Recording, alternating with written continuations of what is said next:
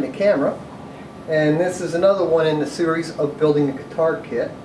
We're going to be bracing the top for all intents and purposes. The back bracing is going to be very, very similar, so we probably won't show them both. I'm using a concave dish and a go bar. There are many ways to do this.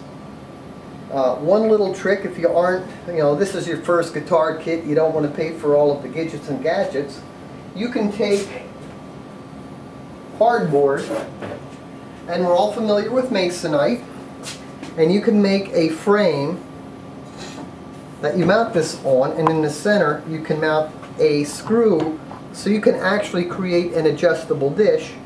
While it may not be perfect, it will work because you can take a brace and you'll put it in here and you can actually adjust that radius using the screw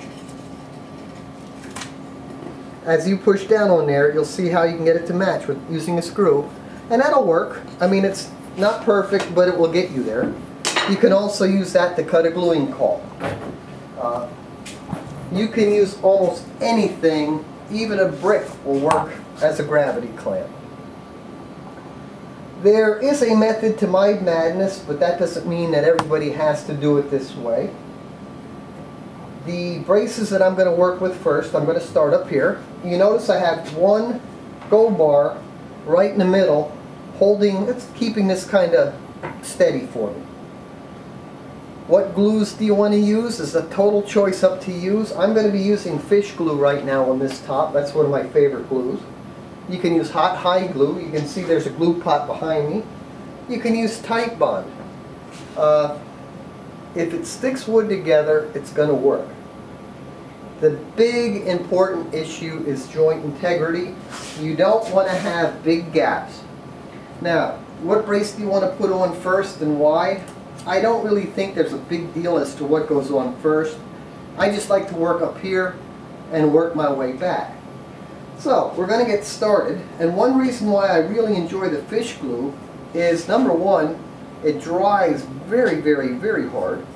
Has a very low dampening quality as compared to some other glues. And easy to repair, easy to clean up. You can see how much glue I have on here. A quick smear with my finger. Get a good coating on it. And one reason why I kind of like this over the hot hide glue is I don't have a problem with the working time much like you will with hot hide glue. With hot hide glue you have to pretty much stick it and go. This stuff will grab in a hurry, there's no doubt about that. It cleans up easy, but it has a much longer open time than your typical hot hide glue. Now I'm holding this down, as you can see. I'm going to take a go bar or two, and I'm going to stick one right in the middle. I'm just taking a look that I'm on my lines, or at least reasonably so. I'm going to take a little caul here. I can put this right on top.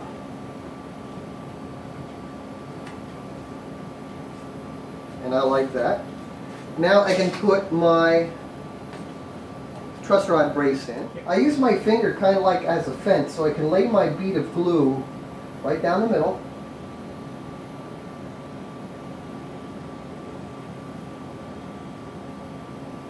Alright, now you can spread this with anything. Nice little spread. You can see a nice glue cover there. The trick is to have enough glue to see the glue, but yet still see the wood. I can see my center joint here. I know you can't see the marks, but I have little marks here that I'm shooting for. Now I can hold this down pretty well with my fingers. And it is quite surprising how quick this stuff can tack up. I'm going to put one here. And I'm going to put one over here. Now the other thing that I like to do is I call it ladder bracing. Just a term I made up, it's nothing scientific. And what I'm looking for is to make my clamping a lot more efficient. Uh, Go bar decks, I do sell them. Uh, they aren't hard to make. This is tacked up enough now, I can open this up like here. And there we go. And each of my sticks is going to give me between 8 and 10 pounds of force. That's about what I'm looking for. I don't need a high a high amount of stress on there. Now you can see I have a little bit to squeeze out here and that's exactly what you want to see. You want to see a little bit of squeeze out. You don't want to make a big mess. I do have my glue pot behind me only because it gives me instant hot water and it's easy to grab. And I can clean this right up. And that's one of the beauties of this glue. It is so easy to, to work with.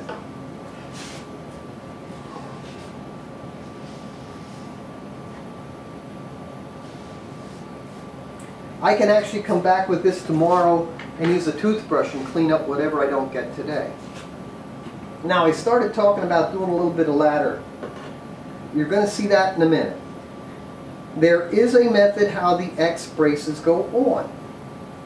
You can put these together all. I think I've showed this in a video before. If I just flip that one and put it on here, it does not match the lines.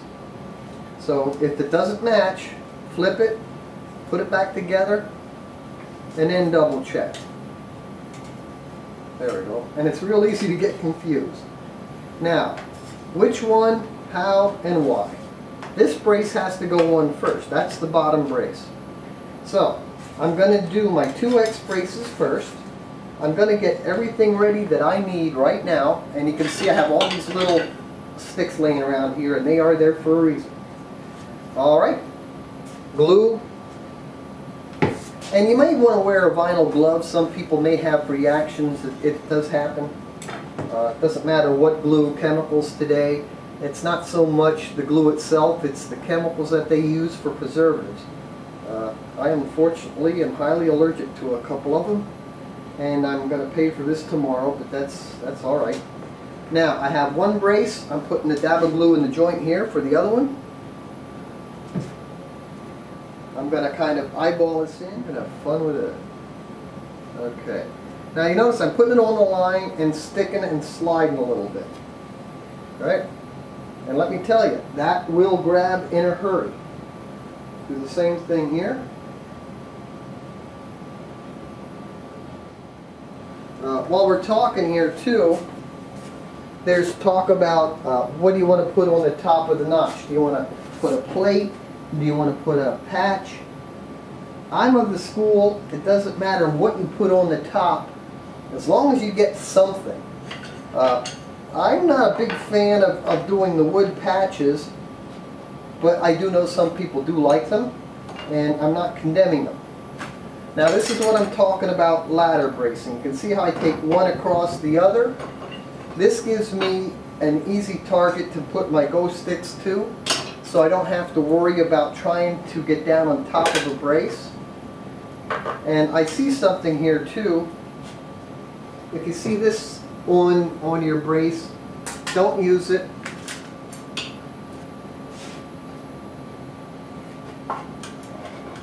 Now, you can see we're getting a nice coverage of glue. There's a little bit of a, a glue out squeeze here and there. And that's perfect. You notice how I put stuff on the ends. And here, I did stick before I got it to the perfect line where I wanted. I'm not going to worry too much about that. I'm close enough. I should have been a little bit more cognizant of it, but I was more worried about showing you what was going on. But you can see that's not a big major mistake. My X braces are now in. This is the next piece I want to put in. Sometimes you'll see this little notch on your bridge plate that will actually fit here so that your tone bar can go by. This is going to be a very important part of the guitar. This is your bridge plate. This is going to help carry the load of the bridge and the strings and the whole mechanism.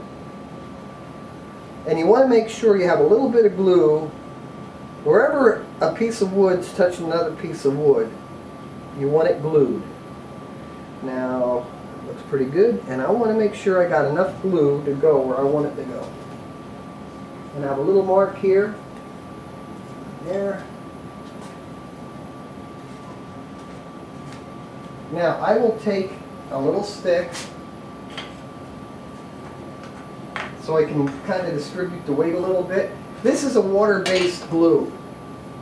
So I do like to make sure I have this clamped very well because sometimes the water will infuse into, into that piece of wood and make it cup and do some funny stuff.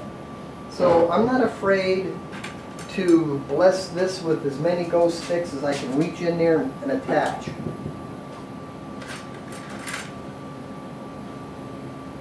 Now here at the center of my X, I want to put something right here. And I look for something like that. And I'll put it across and now I can put two go bars on it. Now you probably see I have a couple different size of go bars here. Uh, that will come into understanding later in this series when we go to do the tops on because I'll use this to put the top on and it just is another way of showing you how to do something. X braces, we got the plate in. Now we're going to put our tone bars. Now I have a short tone bar and I have a long tone bar. Okay?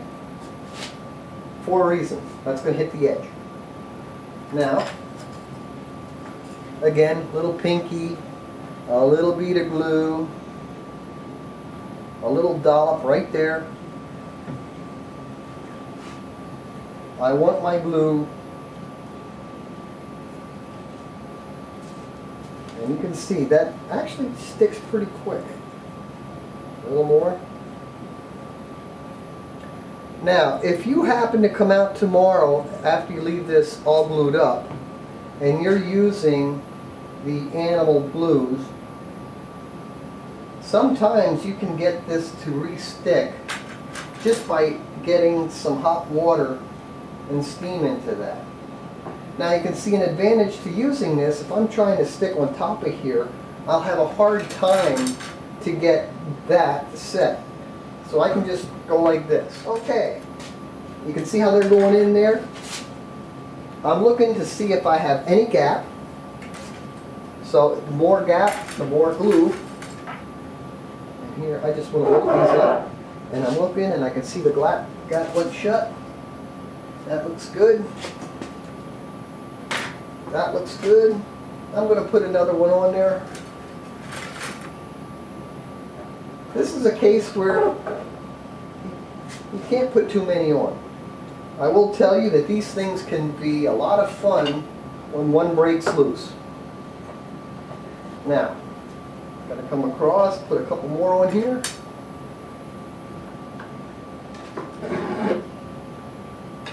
I want as many reasonable sticks on here as I can get.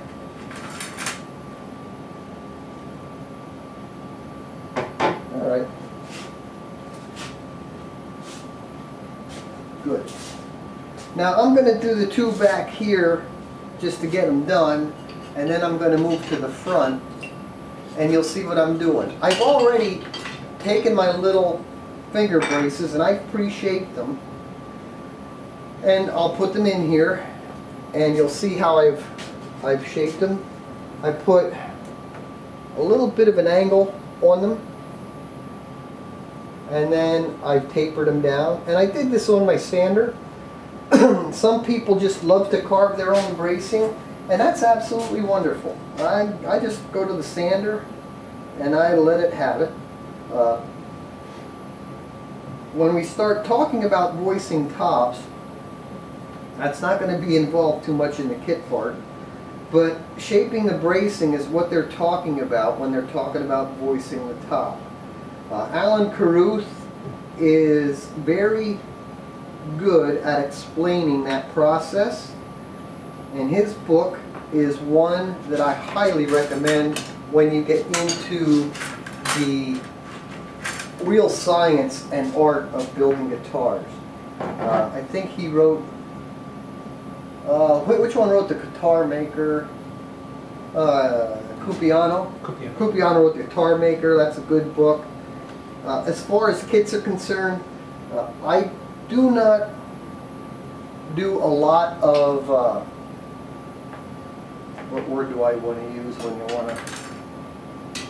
I don't promote a lot of other people's works because I don't want to sound commercial.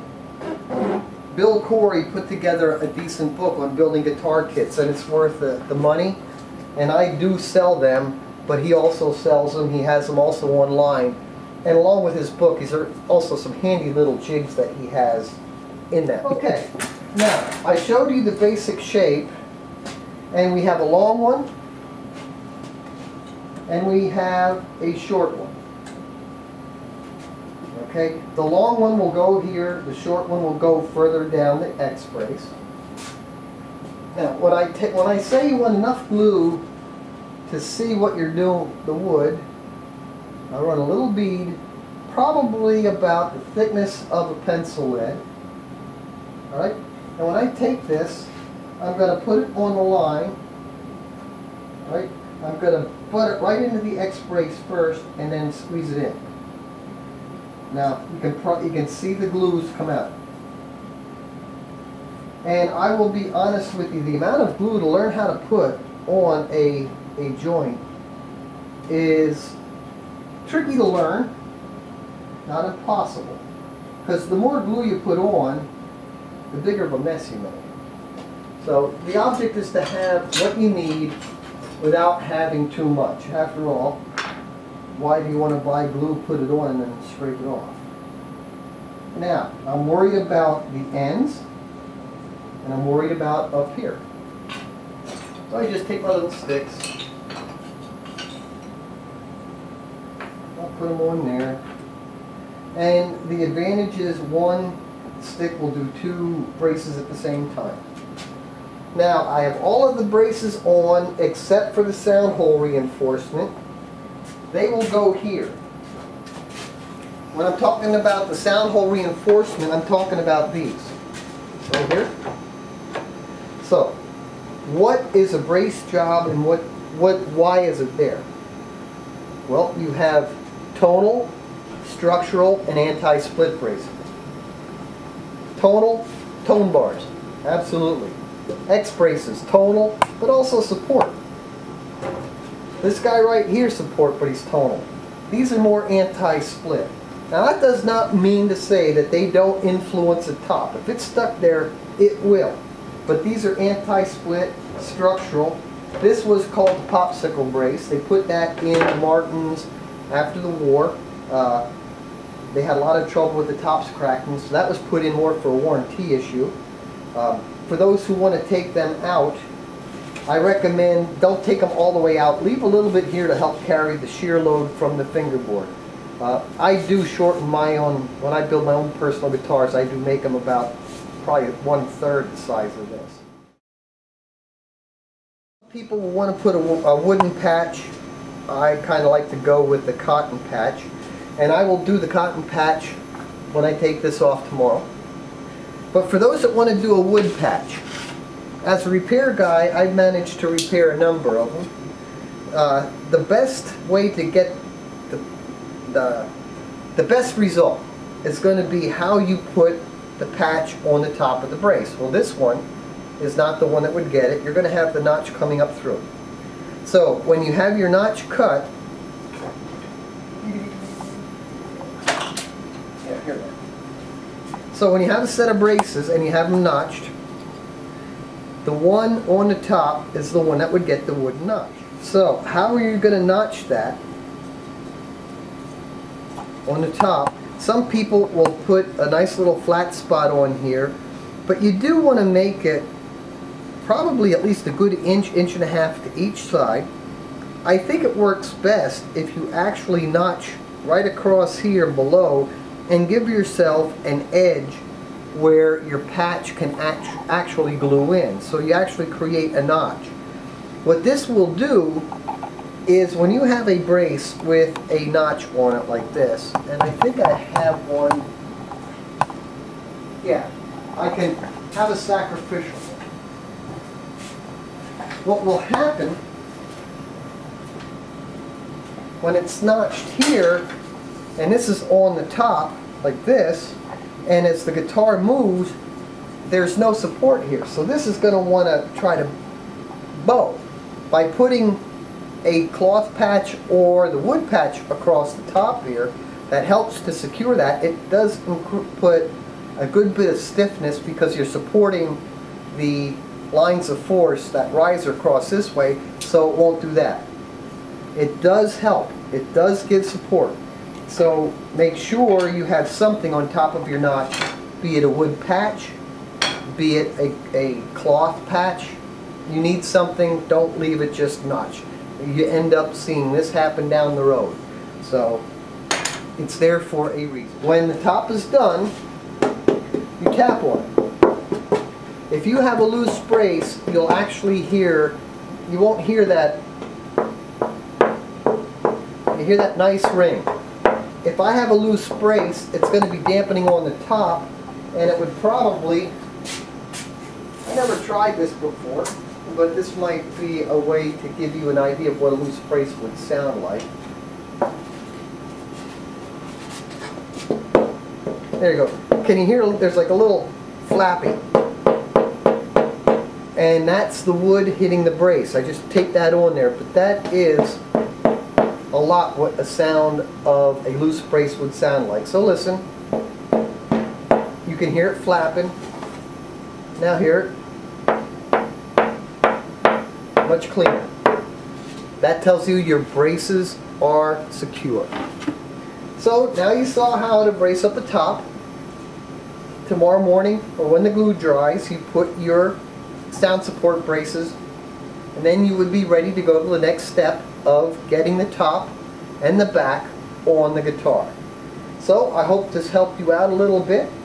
Uh, not hard to do. There's many ways. As long as you can clamp it to the top and get the glue on there, that is all that matters. And thank you. I hope this little video helps you and thanks again for your support. And from Glenn and I to all of you, my shop to yours. Thanks again.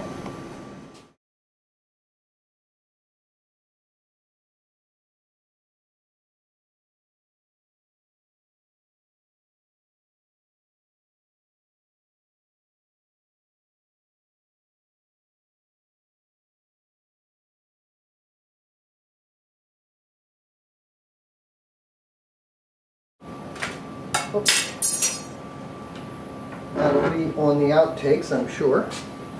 Now, let me grab some more sticks here. I'm sure my friend will edit that out. Nah. Okay. now how... Oh, got that backwards. Outtakes.